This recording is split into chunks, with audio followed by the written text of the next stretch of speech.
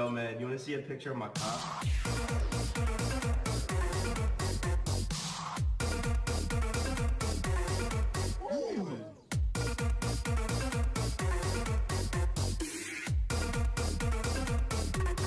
I love you. Bitch!